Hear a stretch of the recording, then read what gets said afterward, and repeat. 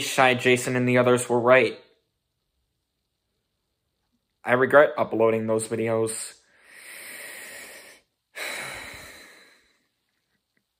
Maybe I don't deserve anybody.